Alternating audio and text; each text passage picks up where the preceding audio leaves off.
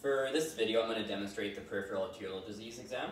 Uh, so to start off, I'll just introduce myself. Hi, my name is Evan Graham. Uh, I'm with internal medicine. I'm just going to examine for peripheral arterial disease on you, if that's all right.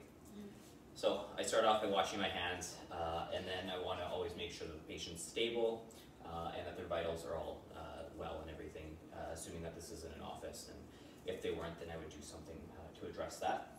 Um, moving on from there, uh, in terms of vital signs, I wouldn't really expect any um, abnormalities with uh, peripheral arterial disease. Um, so I'll go straight on to inspection. Uh, if you could just lie down for me, make it a little bit easier. So I'll start off by inspecting uh, the foot.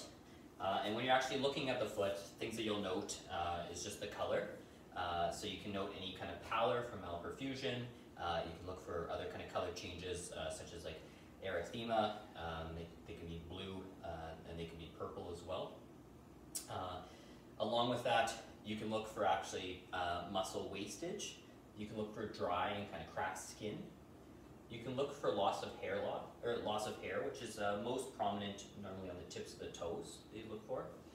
And then you could look for signs of arterial ulcerations. Um, and so arterial ulcers are most commonly found um, on the lateral malleolus, uh, on the tips of the toes, uh, the metatarsal areas, and then also underneath on the uh, bunion regions as well. Um, to differentiate arterial ulcers from venous ulcers, um, arterial ulcers are more deep, um, punched out, uh, that's the way they describe them, so they're very crisp, kind of defined borders on them, and they're very painful as well, people describe. Uh, whereas venous ulcers are more commonly located actually on the, the medial malleolus. Uh, they have a more flat, kind of diffuse kind of area. Uh, they're painless, and then they can also look, uh, they can have a wet kind of appearance to them as well So that would be how you differentiate the two. Um, so that's inspection. Moving on from there, I would go on uh, to palpate the pulses. You can bring your legs down. Uh, to start off, you'd want to palpate the femoral pulse, uh, which is between uh, the anterior uh, iliac, superior iliac spine and the pubic symphysis, halfway between there, and uh, about one centimeter below the inguinal ligament. Um, so you palpate there. You palpate at the, the popliteal pulse as well. Um, so this, you want the legs, the knees slightly bent, uh, and you go posteriorly with both your hands, and you want to actually entrap the popliteal um, uh, pulse right here, the artery there, and feeling for the pulse. Um, we have the dorsalis, um, posterior tibial, uh, which is just posterior and, uh, and inferior uh, to the lateral uh, malleolus. And then last is the dorsalis pedis. Um, and so the way to really find this is you get the person who's slightly flex and you want to go lateral uh, to the first uh, extensor tendon, the first toe, um, where these actually join up here and you feel. And so I feel a pulse there as well. Just note, um, all of these, uh, very, you should have a pulse in every single region, except the dorsalis pedis and some individuals do not have a pulse. So if you don't have a pulse there, um, that's not necessarily a positive finding. If you're unable to get a pulse in any of these regions, uh, then you'd move on to Doppler. Uh, and so with Doppler, you'd go in the same regions, uh, hearing for a Doppler pulse, uh, and it should be triphasic. Uh, commonly as people get older, you can get a biphasic uh, sound as well, which is still normal. Um, it'd be abnormal if you only have a monophasic or no pulse at all.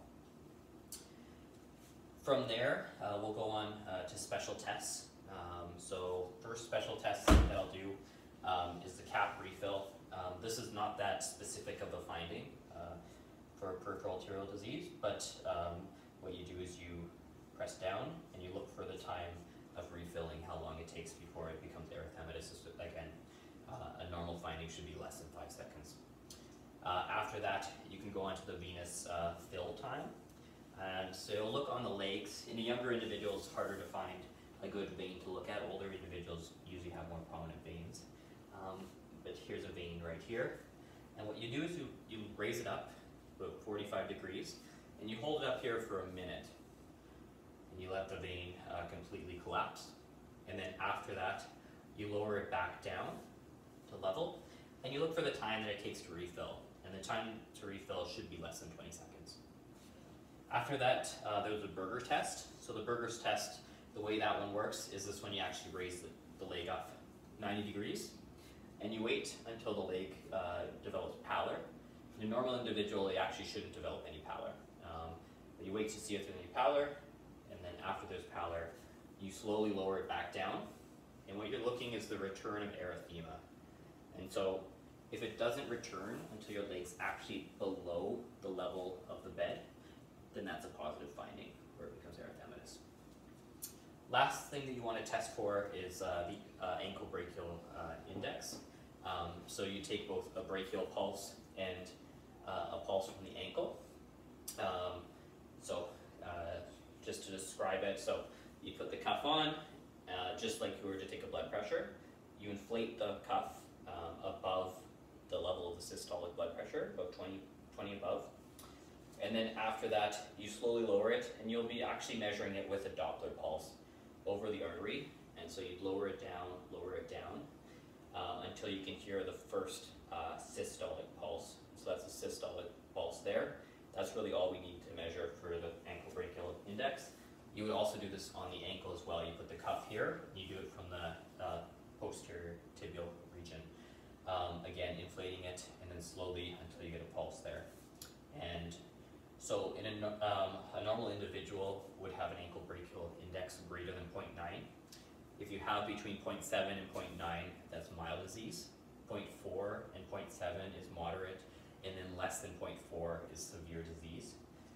If you have less than 0.5, that's when you're going to have arresting uh, ischemic pain, and then less than 0.2 is normally when you develop uh, gangrenous um, or limb-threatening disease. Occasionally you can get uh, a falsely elevated um, ankle brachial index, so if the index is greater than 1.3, that's an indication that you actually have calcification of the arteries.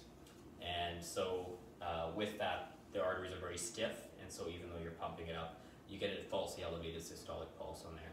If that's to happen, you have to go more um, uh, distally um, from, and maybe take the pulse from like uh, a toe to try to get it that way. Or you can use like uh, a duplex also